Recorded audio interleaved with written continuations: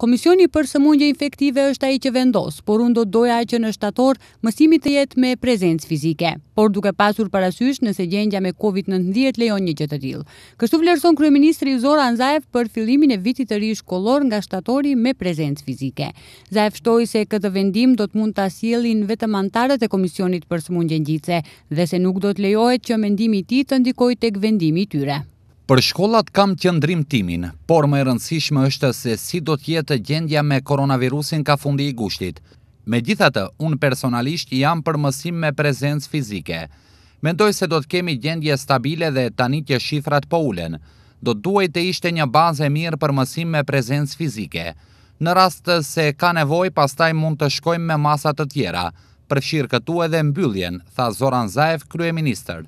Ndërkaq kreu i Shëndetësisë ka sqaruar se për momentin vendi ynë është në periudhën në të cilën epidemia ka rrjedhë të mirë dhe se në procesin arsimor epidemia po trajtohet mirë.